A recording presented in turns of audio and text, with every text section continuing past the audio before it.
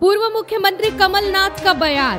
चुनाव परिणाम पक्ष में नहीं आने पर बोले कमलनाथ। अब सबसे चर्चा कर रहे हैं। उम्मीदवारों को बुलाया है, हारे हुए और जीते हुए। उनसे चर्चा करके, उनसे बात करके इसका एनालिसिस करेंगे। ईवीएम हैक होने की बात आपके कई नेता कर रहे हैं। क्या हैक हुई है ईवीएम? देखिए, अभी मैं सबकी बात सुन लूँ, ऐसे ही मैं चर्चा करूँगा। ऐसे ही मैं बात करूँगा और किसी फैसले पर आ जाऊँगा। सही नहीं है।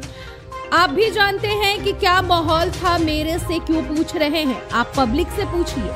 मुझे अभी कुछ विधायक मिले हैं, कह रहे हैं कि मेरे अपने गाँव में मुझे 50 वोट नहीं मिले। ये कैसे हो सकता है? मेरे अपने गाँव में मैंने अपने घर से देखा है। एग्जिट पोल में भी यही रिज़ल्ट दिखाया था।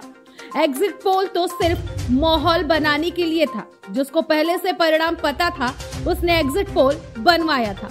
ब्यूरो रिपोर्ट मई भारत। देखिए, ये तो आप लोग भी जानते हैं क्या माहौल था।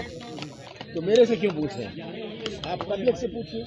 मुझे अभी कुछ विधायक मिले सुबह कहते मेरे अपने गाँव में मुझे पचास वोट मिले। ये कैसे हो सकता है? कहते मेरे अपने गाँव में घर से मैंने देखा। सर एग्जिट पोल का सर एग्जिट पोल का भी असर हुआ है क्या sir? Sir sir exit poll जिस तरीके से सामने आया क्या आपको लगता है एग्जिट पोल एक पुरहा है कारण? कई कांग्रेसी लोग बोल रहे हैं एग्जिट पोल एग्जिट पोल तो माहौल बनाने के लिए किया था। जी।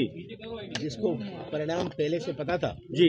उसने एग्जिट पोल का बनाया हुआ। जी जी। सर चूक कहाँ हुई? एक आदमी तो चूक मैं अभी सबकी बात सुन लूँ। जी। सबकी बात सुनता हूँ को मानते हैं।